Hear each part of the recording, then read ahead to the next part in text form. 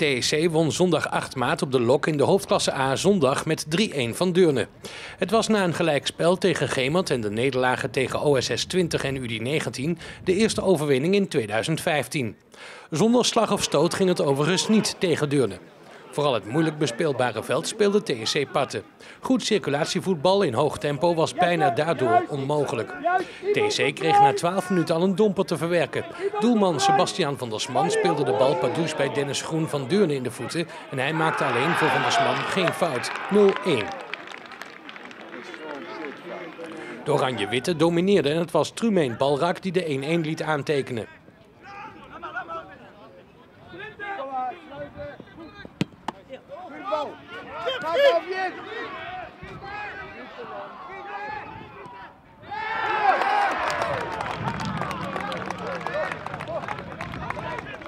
Deurne kon niet echt gevaarlijk meer worden. TC kreeg middels Spitsier Battles na 35 minuten een uitstekende mogelijkheid.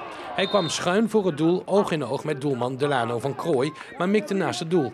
Na de hervatting was Deurne het eerst gevaarlijk, maar Maarten Vos vond Van der Sman op zijn weg. Ja, ja, ja! TEC wilde per se winnen om niet verder achterop te raken bij de koplopers. Kansen kwamen er volop, maar die werden niet benut.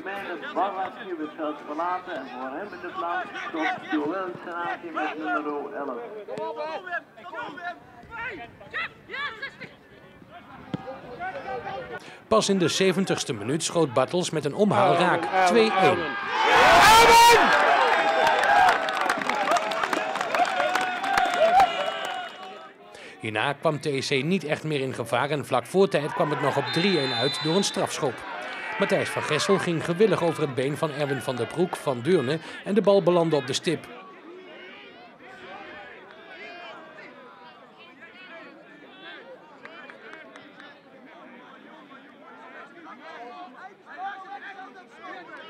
In het tumult rond de strafschop liep Ronald Jooster van Deurne nog tegen een rode kaart aan wegens opmerkingen tegen het publiek.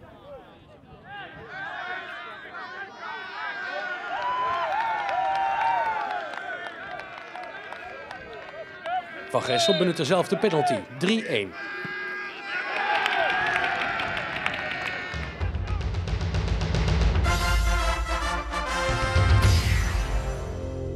De wedstrijd van vandaag. Wat vond je van de wedstrijd?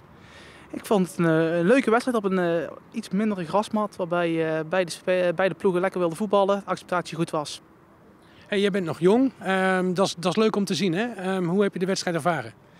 Uh, nou ja, ik ben inderdaad 19 jaar, dus inderdaad vrij jong. Maar uh, ik heb de, de, wedstrijd prima ervaren. Leuke wedstrijd. Uh, zoals ik net al zei, de acceptatie was goed. Dus nee, prima. Um, de wedstrijd zelf. Analyseer hem eens vanuit jouw oogpunt. ik vond dat de, de eerste helft was vrij, vrij rustig. vrij rustig. goede acceptatie van de spelers. Werd redelijk gevoetbald. In de tweede helft, ja, wat, ja, de weersomstandigheden speelden mee natuurlijk dat het wat zwaarder werd. Ook voor, voor ons, maar ook inderdaad voor spelers. Waardoor er uh, ja, overtredingen, meer overtredingen kwamen die bestraft moesten worden. Lag dat ook aan het veld of niet? Nou, ik denk dat het veld uh, daar ook wel in meespeelde.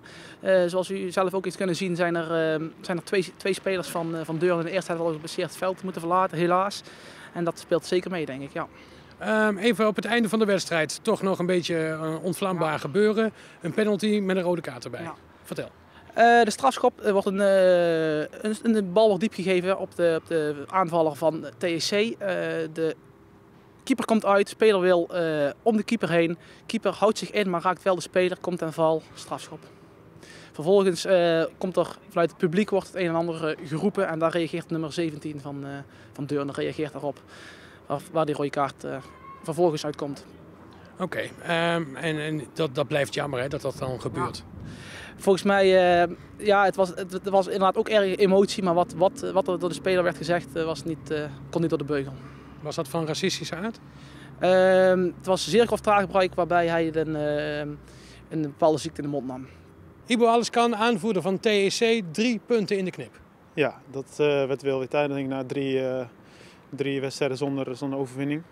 En vandaag was het gewoon heel erg belangrijk dat we weer drie punten zouden pakken. En zodat we weer een serie konden zetten en weer naar boven eh, kunnen klimmen. Toch ging het niet van een leien dakje, hè? Nee, dat klopt. Maar dat, wist, dat, had, dat hadden wij ook wel verwacht van tevoren. Dat, want we lopen natuurlijk naar de winststop niet zo goed te voetballen. En eh, vandaag was het voor ons heel erg belangrijk dat we zouden winnen en dat we de strijd, meer strijd zouden leveren als de voorgaande wedstrijden. En dat hebben we denk ik wel gedaan, eerste helft vooral. Dus het is best onder druk, kleine kansjes gecreëerd. En dan zie je dat uh, ja, 1-0 en dan 1-1 en dan ja, na, na die 2-1 dan pak het wel weer een beetje goed op. Dan, ja, daarna zagen we bij Vlagen weer het oude TC terug, hè? snelle combinaties. Maar dat blijft op dit veld lastig. Hè? Ja, dat blijft heel lastig. Dat zie je ook bij die 1-0. We willen van achteruit opbouwen, gelijk overstaan naar het middenveld toe en dat lukt niet. En daarna dus doen we het eigenlijk bijna niet meer. Dan denk je van ja, doen we gewoon lang spelen. En dan zo de strijd aan gaan, zo winnen. Tweede, gewoon tweede bal. En dat is nog best gelukt, denk ik. Um, weer uh, met het zicht naar boven in uh, de, de, competitie, zullen we maar zeggen. Um, goed gevoel? Nou, wij, wij, wij, wij zijn van plan om eerst die series neer te zetten en dan zien we wel wanneer, waar we het nou terechtkomen. Ik denk dat wij uh, na volgende week even niet, niet, niet, niet zozeer naar boven moeten kijken. Ik denk dat wij gewoon vanuit onszelf weer het gevoel weer terug moeten krijgen. En als er dan een serie in is, hè, dan denk ik dat het wel weer goed komt. Ja. Hey, jouw eigen spel, tevreden daarover? Eerste helft zeker, tweede helft zag ik, uh, vond ik wat zelf ook wat, uh, wat, wat weer weg. En dan... Dan zie je, ik ben nou natuurlijk een tijdje ziek geweest en zo. En, uh, maar uh, eerst was zeker tevreden, ja. Je Bartels, je bent groeiende. Hè? Deze wedstrijd was alweer beter dan de vorige. Ja, nee, zeker. Dat kun je wel zeggen. Ik merk dat ik steeds beter word per wedstrijd dat die ik, die ik speel. Dat ik meer kracht en inhoud krijg en dat de scherpte toeneemt. Vandaag heb ik mijn eerste goaltje sinds, sinds een paar maanden. Dat wel, geeft een, een vertrouwd gevoel weer. ik zat al de eerste helft dichtbij twee keer. En had er eigenlijk wel eentje ingemoeten, maar ben blij dat ik de tweede helft heb, uh, heb kunnen goedmaken. Ja, dat is de scherpte en die komt natuurlijk met de wedstrijd. Um, heb ja. je nog last van, van je oude blessure? Nee, eigenlijk niet. Ik uh, speel een paar weken uh, pijnvrij en ehm, ik denk eigenlijk niet eens meer aan. Heel soms voel ik wat, maar ik denk dat het meer tussen de oortjes zit en dat ik daadwerkelijk wat is. En ik, ik voel me vrij in mijn hoofd en ik heb elke keer weer zin om, om te spelen. De wedstrijd. Bij Vlagen zagen we het oude TSC weer, maar uh, echt goed was het nog steeds niet hè? Nee, dat zeg je goed bij, uh, bij Vlagen. Um, nou, ik hou niet van, van uh, excuses, maar het veld is niet in ons, in ons voordeel. Um, we moeten dat veld ons, heeft heel veel hobbels hè? en daardoor ja, stuit ja, al die ballen op. Een paar keer dat we, we willen voetballen, dat, dat, kunnen we het beste. Maar dat is lastig af en toe op dit, op dit veld. Dus we hebben iets andere tactiek gehanteerd, iets eerder de lange bal. Ehm, wat niet, ons, waar niet onze kracht ligt. Maar uh, ik denk dat uh, we vandaag aan de goede kant van de medaille zaten. Dat we ook wel iets beter van het spel hadden. Um, het oude tech moet nog, uh, moet nog komen. Daar heb ik alle vertrouwen in. Nou, dat is iets moois om op voor te beduren. Um, wij van StadsTV Tiel, we hebben de man of the match. We hebben, wij vinden dat we jou als man of the match kunnen typeren. Dat hebben we dus ook bij deze gedaan. Uh, Sporthuis Tiel sponsort dat met een heel mooi shirt. Uh, gefeliciteerd. Dankjewel, dankjewel. Daar ben ik blij mee. Die ga ik zeker dragen in, in Amsterdam. Een tevreden trainer van TSC 1? Ja, weer een keer gewonnen, dus altijd weer tevreden. Dus uh, niks op aan te merken. Moeizaam, maar drie punten tellen nou even. Het was uh, vechten geblazen. Hè? Um, de tegenstander die lokte dat ook uit. Snelle combinaties zijn op dit veld ook niet mogelijk. Nee, dat hebben we zelf ook kunnen zien. Uh, dus normaal wat we normaal heel goed kunnen, zo opbouwen van achteruit en dan doorvoetballen vanuit het middenveld. Ja, die middenveld hebben we eigenlijk een beetje overgeslagen. En met de hele snelle spelers voorin, kracht, power ja, proberen zo snel mogelijk naar de vijandelijke eh, doel te gaan. Um, over de wedstrijd, analyseren hem eens even. Ja, het had uh, mooi kunnen zijn als Jip binnen twee minuten volgens mij de 1-0 binnen kan schieten. Net een teentje tekort. Ja, dan wordt het volgens mij iets makkelijker. Nou, dat gebeurt niet. Uh, goed, en dan, dan krijgen wij een, doelpunt tegen. En uh, dan nemen wij onze uh, want we willen altijd zorgen dat uh, Sebastian niet die lange bal gaat spelen. Dat het altijd vanuit de voetbalgedachte Sebastian korte bal speelt op, de, in ieder geval op de een van de vrije middenvelds of de laatste vrije verdedigers. Ja, en dan weet je dat het ook een keer fout kan gaan. Nou ja, goed, dat is onze verantwoording, want wij willen dat Sebastian dat doet. Kijk, een lange bal, en dat is onze visie. En we willen niet de lange bal spelen. Ja, als het niet anders kan, ja, dan moet het. Maar uh, wij nemen gewoon die verantwoording van de goal van Sebastian. Nou, TSC is blijven voetballen. Jij moet blij zijn met de terugkomst van, van Jip Bartels. Zeker, zeker. En uh, Jip is natuurlijk voor ons heel uh, een gouden speler. dat is in het verleden ook al gebleken. We zijn heel blij met, dat hij weer in ieder geval voor 70 minuten goed kan spelen. nog niet helemaal 90, 90 minuten. Maar goed, met Jip erbij is het natuurlijk wel een, ja, een, een slagroom, een, een, een slagroom op de taart, zeg maar.